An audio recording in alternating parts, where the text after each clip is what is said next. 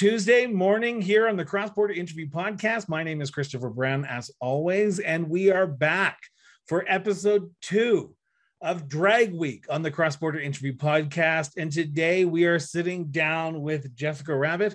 Jessika, thank you so much for doing this. It's an honor and a pleasure. Thank you for having me. So, Jessika, I've asked uh, yesterday's guest and now you, what is drag? Whatever you want it to be drag has no rules and that's what i love so much about it is it's an art form where you can just exist and perform and just be surrounded by love. What got you into the drag community and the, what got your what was your start in the drag community i should say? Actually hold on pause let's let let's go back to the second question i should have asked the last guest i had on yesterday that i didn't. Sure. who is jessika rabid uh, Jessika Rabid is newer to the Calgary scene. I've been doing drag coming on a year now, so not as seasoned as some of my uh, friends. but I, I mean, I'm a feelings queen. I'd like to describe it as, as I like to tell my life story uh, through performance. So every single song that I perform has a personal meaning to me. What drew you to the art form? I grew up being a theater kid. I was huge into theater as a kid. I grew out of it when I moved to Canada 18, 19 years ago now. And I kind of lost my arts. I went through some tough stuff and I just battled addiction, got through all of that. And then I started going to drag shows and I realized that I could help people who had been through some of the crap that I'd been through by performing and reaching out and being a part of this community, I could help kids. And that's ultimately what I wanted to do.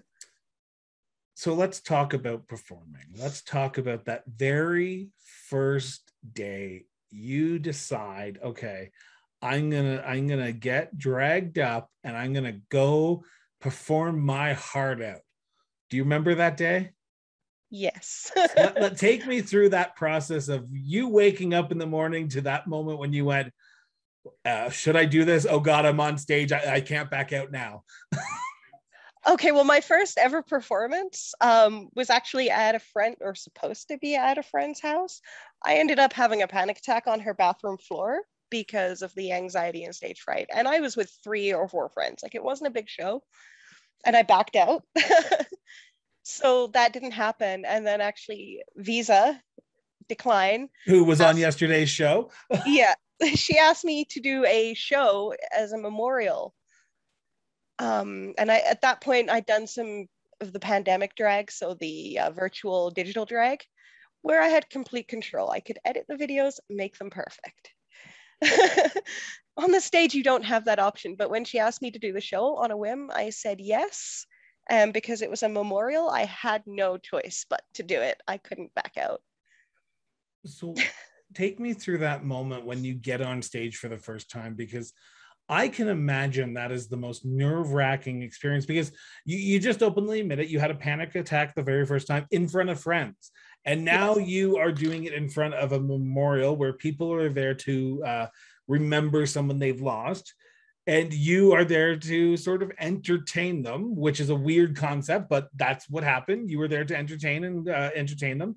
So, mm-hmm. getting on stage was there a panic still or did you sort of say okay if i don't do it now i, I might not do it a bit of both okay. i was absolutely freaking out i had one of my best friends beside me and they were holding my hand like before and after and i was shaking like a leaf but at the same time i was like this is something you love doing go up there and own it and so i did do you what song was it I performed two numbers that night. There was Conan Gray, uh, Checkmate, and oh my gosh, what was the other song? I can't even remember. Hang on, I've got it right here.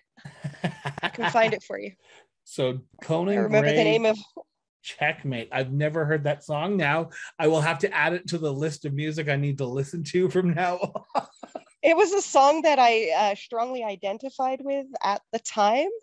I was going through a pretty rough breakup and that song very kind of just hit the spot. oh wow! so this, it seemed perfect.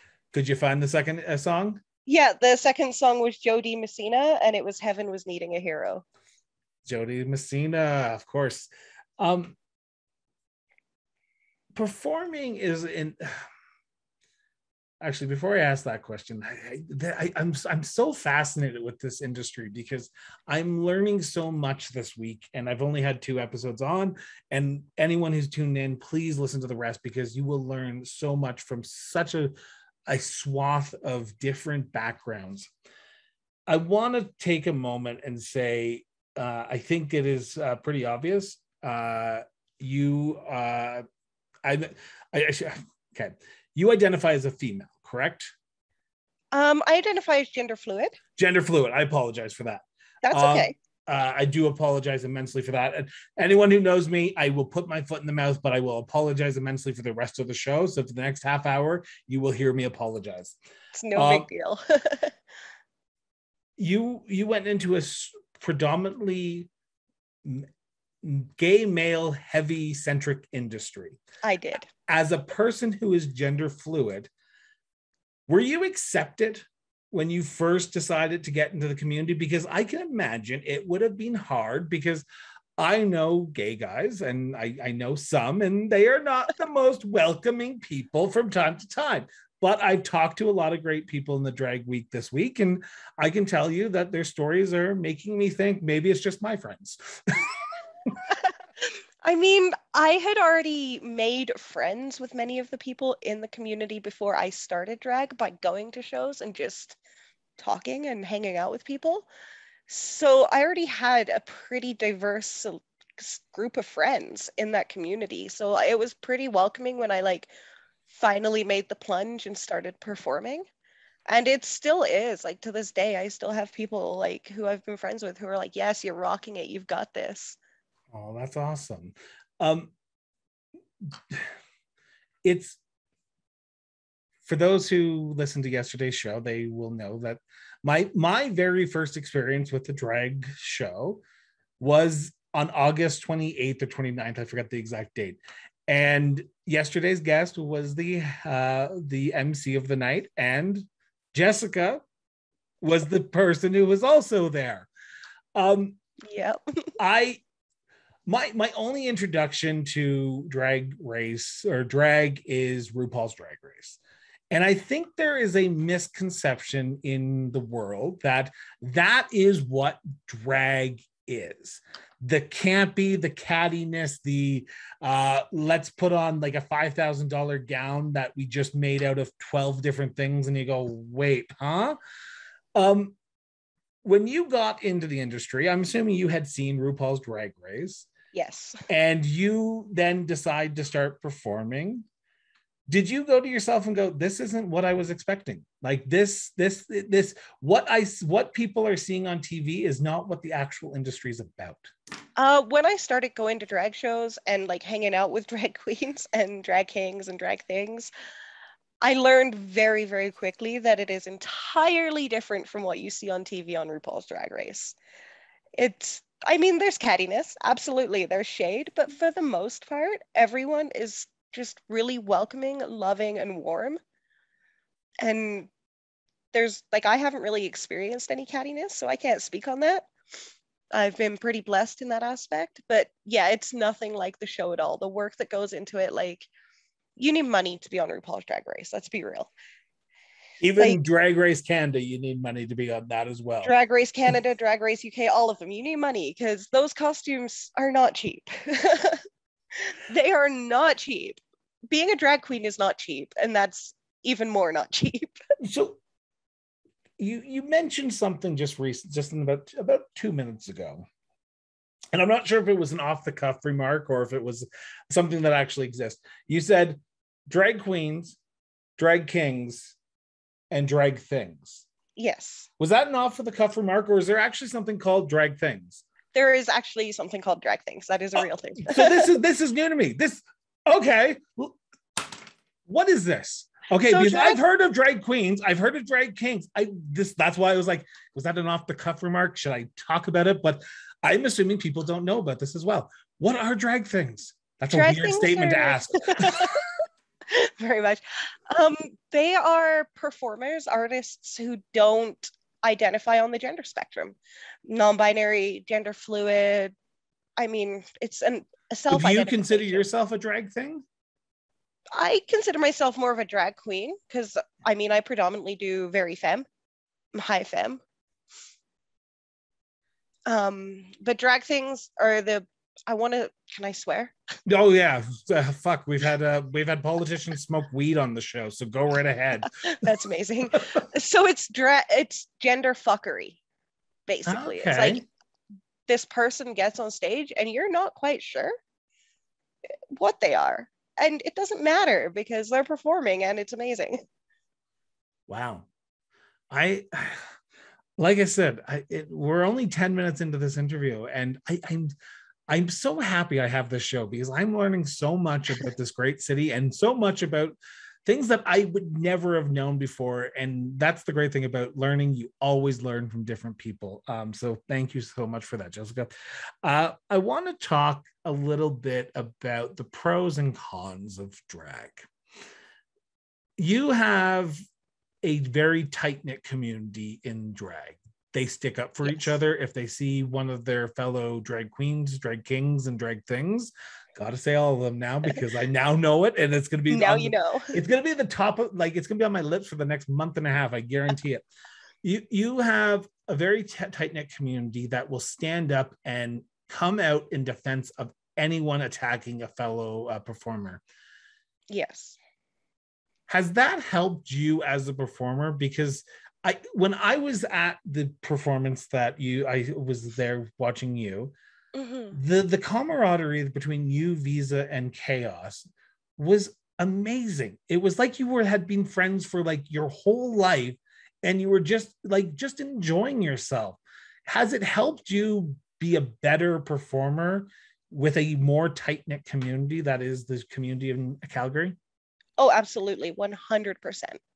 It's the support is I can't even describe how invaluable it is. Like I probably wouldn't have continued doing drag if it hadn't been for the support from the other artists. Like I perform every Wednesday, well, most Wednesdays at uh, Twisted Element. They have a drag contest every Wednesday hosted by the very best. Um, it's called Twisted's Got Talent, and it's a competition. So we're competing against each other but I mean, yesterday, for example, one of my friends, JV, they won and they are an absolutely incredible performer.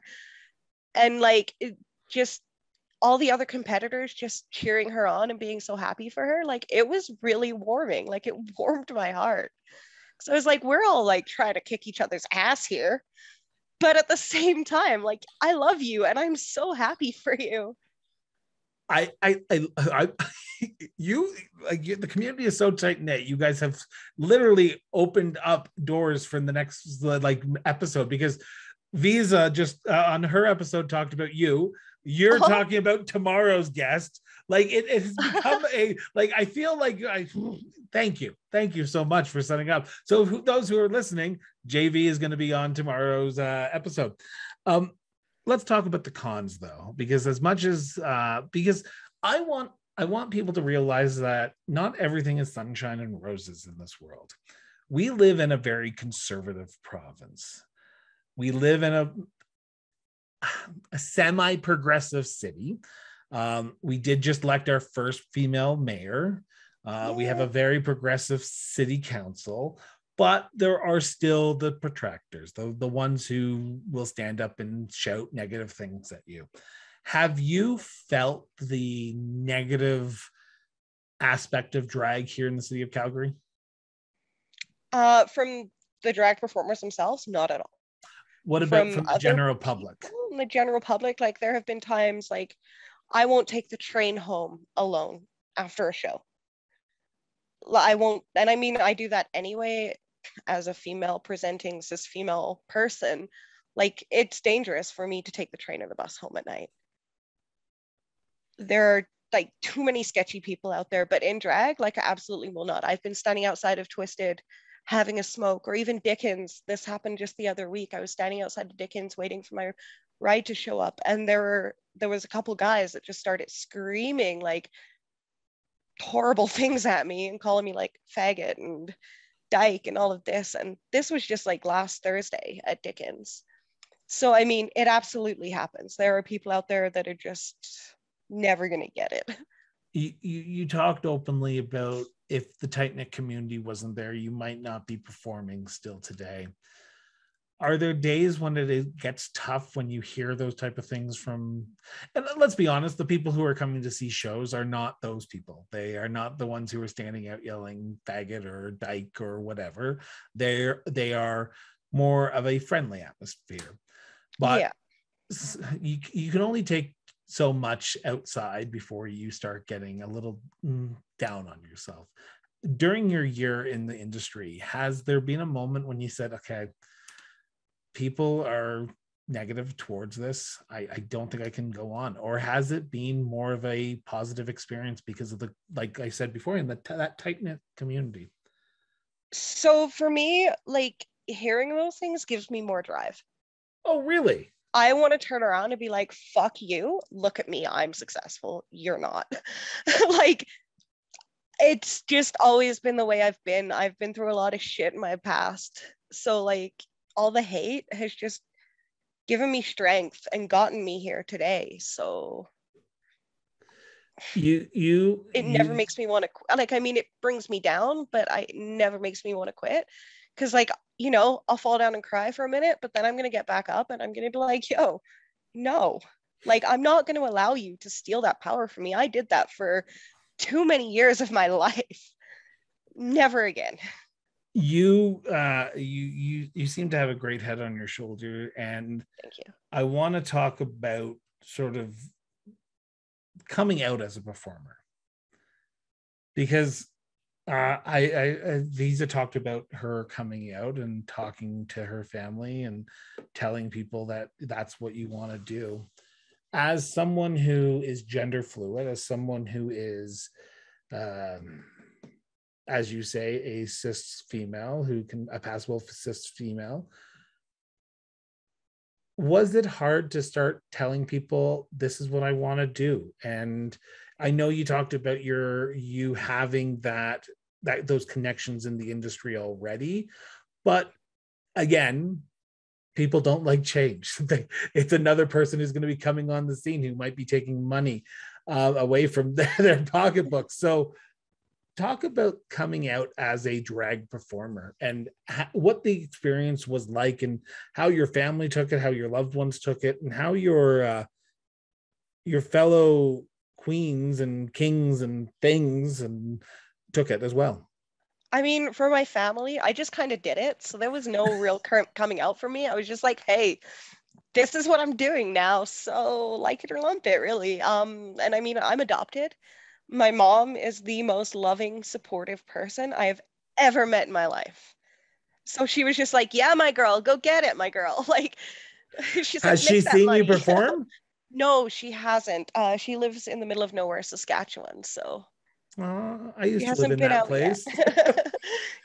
so, I mean, I was out there just recently though, so I got to hang out with her for a bit. And and to, and and coming out to your friends because like I said, it's a tight knit community, and I'm assuming people want the best for everyone. But um, talk about you when you told your friends this is something because was it like an outpouring of support? Like i want to paint your face like let's do this let's do this now and we're going to do this right or was it okay we'll do it on your terms a lot of my friends were like what? Like cis females can do drag Mm. like my friends outside of the drag community here, like they were just like, "What? Like how how does that work?" And, and that's like, oh. I'm so I'm so I'm so glad you just said that because I didn't want to put words in your mouth when I asked this next question is how do you overcome that stereotype? Because I'm assuming when people come to drag shows, they're looking at the performance and going, wait, wait, you're you're not a gay male you're a gender fluid person. You're not what i expected when i came here but i'm still having a good time. What is this all about? Like the mind screwing that you probably do when you perform because people are looking going wait that's a that's a the, wait what? So talk about that moment talk about that aspect of it because that's the part where i'm so fascinated that people are we're we're cons- we're like surprised that you want to do it as someone who is gender fluid and as a cis female, but people still enjoy it. Absolutely. I mean, I'm there to entertain. I'm there to give you a good show. Ultimately, that's what I want to do. I want to give you a good show. and I have had like people come up to me and be like, "Women can do drag," and I'm like, "Well, you know, gender fluid, but it's cool. It's cool." um, do you ever get women coming up to you and saying, "Can we talk? Can we have a conversation?" Or someone who is gender fluid and say, "Can we talk and have a conversation?" Because I kind of want to do what you're doing. I haven't yet. Like I've had people express interest, but it's never gone beyond like a drunken talk at the bar. And I'm like, you know what? Feel free to hit me up on Instagram. Here's my Facebook. Here's my Instagram. You know, hit me up, message me. I don't bite unless you ask. And what would you tell someone who did want to come up to you and ask that question? Because coming up and asking a question point blank is always hard. Sending a message on social media is hard, but when they hear it secondhand from a conversation like this, it might be easier for them to accept. So if you were talking to someone right now who is gender fluid, who is a gay male, who is anyone, anyone, anyone, mm-hmm. what would you tell them to think about before getting into the drag industry? Uh, don't think that RuPaul's Drag Race is the end all be all because it is not. there is so much more to drag out there. Like drag like literally my favorite saying is drag has no rules because it doesn't. You can be whatever you want to be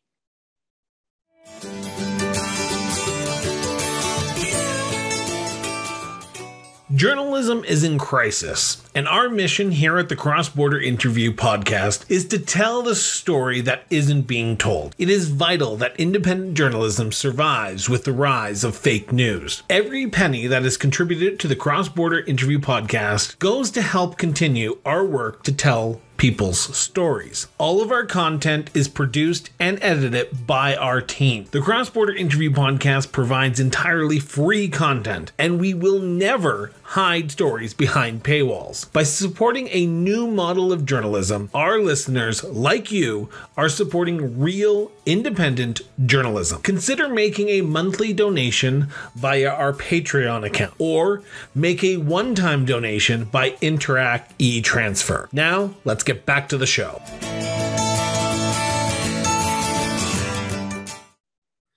But at the end of the day, you you wouldn't pass up an opportunity to show up on RuPaul's Drag Race, I'm assuming, right? I mean, I might. what? Wow. I, I don't know if RuPaul's really like my kind of style. Like, I think if I were to go on a drag reality show, I would pick Dragula over RuPaul any day. Okay, Visa and you have just mentioned that, and I need to know: Am I missing this whole new genre of drag TV shows that I need to freaking start watching here? Is this just new? Well, Dragula's in its fourth season now, so the fourth season just started. There's one, two episodes out now. Totally know what you're talking about now. Yeah, that that one four seasons. Oh God, I feel. yeah. So I, it's uh... um, a show run by the Boulet brothers, and it's horror drag. So it plays on your fears and horror. Like they went for the first episode. Spoiler alert! They went through like a haunted house, like I, one of the real haunted houses, not the kids' ones. I literally just got the reference. it took me two hours to figure out that Dragula is Dracula yeah, it's a play on Dracula for sure. Oh my sweet mother of God. I apologize to anyone who's watched this because I have probably had the worst looking face in the last few episodes of huh? Dracula? Okay. and there's um, a new show out too uh, that was just released on Out TV. Like it's brand new first season. There's only one episode. It came out on Monday. That's the Call Me by Your Mother. Call, call Me Mother. Call Me Mother. And which like I would go for that over RuPaul's too.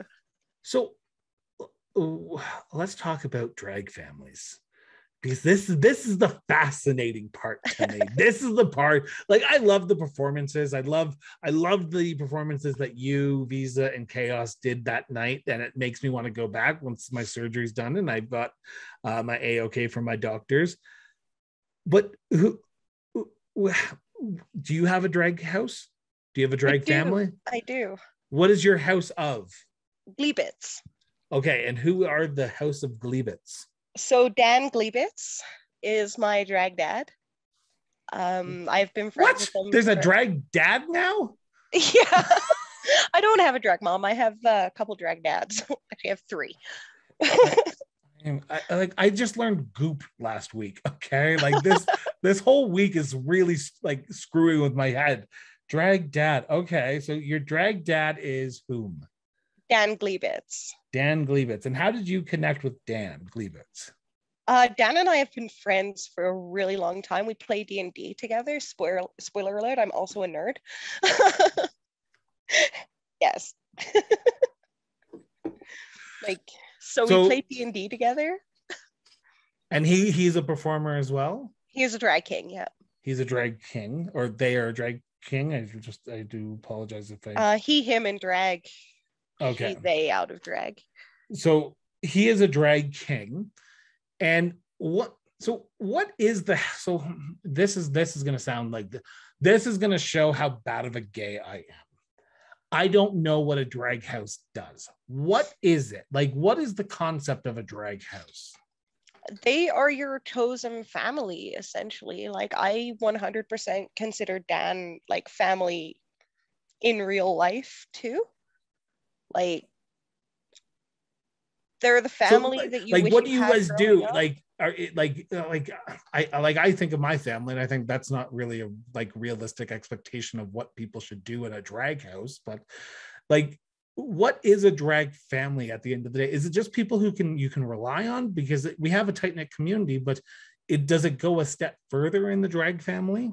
They are the people who at the end of the day are going to be there for you through all of the ups and downs and they're going to give you advice honestly on your drag. Like dan has given me a lot of constructive criticism over the last year even before they became my drag dad. Like they've come out to a good chunk of my shows. We've performed together. We've done a duets together now. So they've basically helped me grow as not only a person but as an artist as well and do you get any like it, it's great to have someone there but do you do you like it, is it a give and take? Like you will go to their performances you will be that honest person for their drag as well? Because when drag when dan goes out in drag do you say hmm, you have to change that? Or is it more of a him being the father figure to you to be sort of mentoring you through the process of becoming the uh the drag performer that you are. Oh it absolutely does go both ways. Like Okay. he is more of the father figure but it does go both ways. When like something's not working i'm not going to lie to him and tell him it works. I'm going to be like yo dan that doesn't work. I love you but no don't do that again. This is why i would not make a good drag queen because i would not be honest with anyone. I would be the like the subtle person in the background just going that good Even- job. you you do you you. And i think part of it is the honesty. It's such a loving honesty. Like it's not like they're being harsh and mean. They're being honest. And So- sometimes honesty is not the greatest.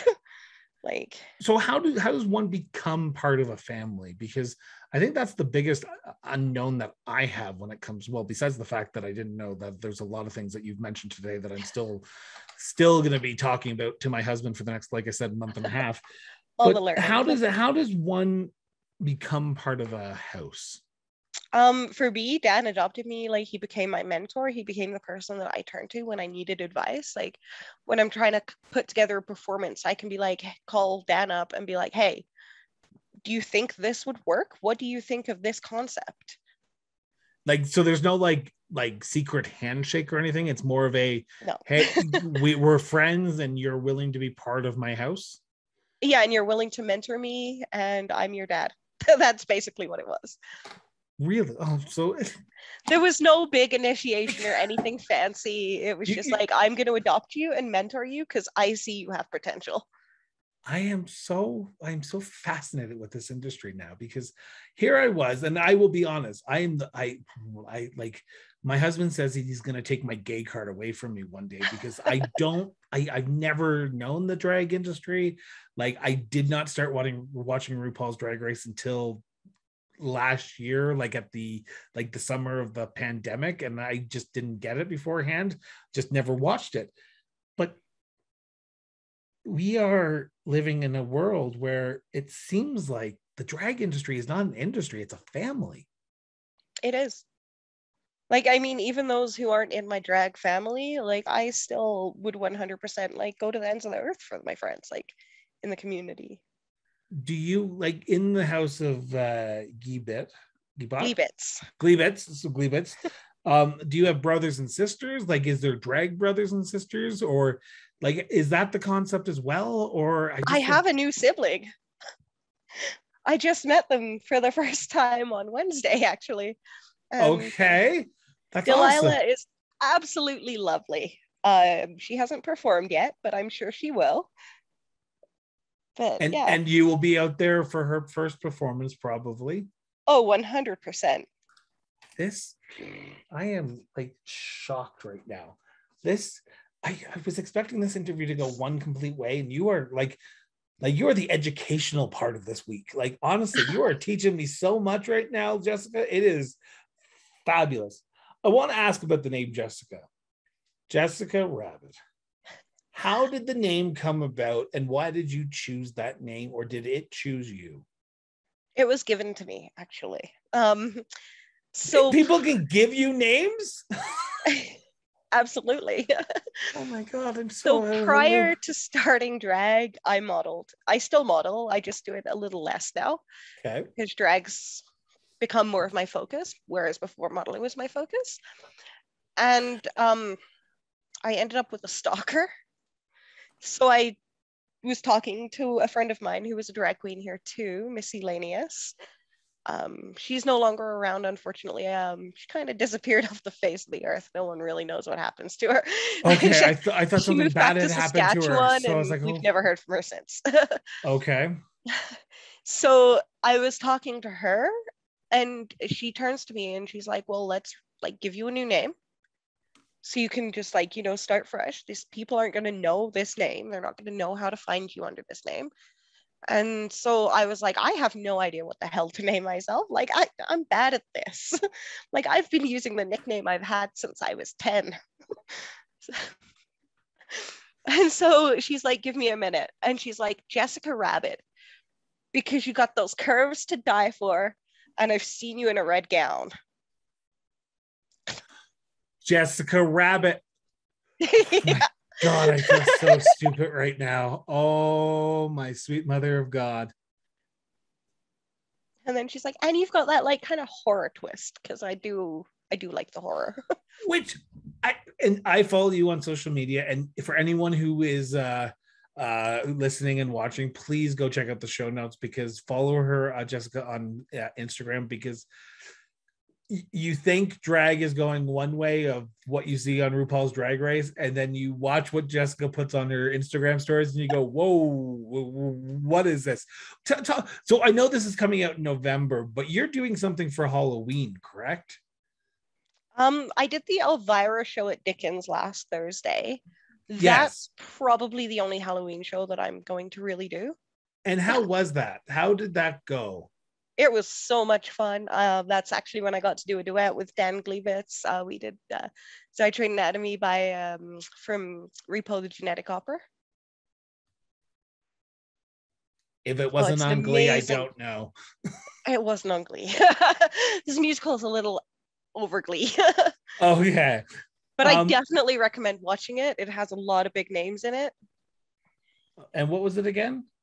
Uh, Repo and the Genetic Opera. Repo and the Genetic Opera. Okay. I don't know if you're a Buffy fan at all. Yeah. So Giles, Anthony Stewart Head Yeah. is in it. Paris will- Hilton is in it. Okay. it's now you a- might have you might have lost me there. you know what? I don't mind her part in this. I'm not a huge Paris fan, but her part in this. Uh, Okay, I will certainly look that up. Um, you you were relatively new to the industry. Yes. Looking back on the last year of your life since you started in the industry, knowing what you know now, would you still have done it? Absolutely. Would you have gotten on that stage on that first moment at your friend's house? Go if I knew what I knew now, absolutely. I would have been like like Jessika, you're being stupid. Like you're with four of your best friends in the world mm. right now. Like they are the people that have been supporting you for the last two years. Like and you you seem so energetic. You seem so you got a head on your shoulders that I'm so happy. Um I want to get a little personal right now. Sure. And you said you're an open book, and yep. in, in, our pre-interview, I always ask the question: Is there anything off topics? And uh, Jessika said, "I'm an open book. Let's do it. Uh, go hard or go home." I think the actual words was. Yeah. Dating as a drag performer. Dating in the industry. Is it hard? I don't date in the industry. but dating someone outside, well, not not dating in the industry, but dating as a performer, as a drag performer, I can imagine it would be tough to tell someone who you be potentially dating or dating right now to say, "Hey, I would love to go out with you, but I've got a standing invitation Wednesday nights at Twisted to go to their Twisted uh, Twisted's Got Talent show every Wednesday." So, talk me through the process of dating in the industry because I, have asked this question to Visa. I've, I've, I've also asked it to tomorrow's guest as well, JV. So, dating in the industry is it is it difficult or is it is it sort of semi acceptable?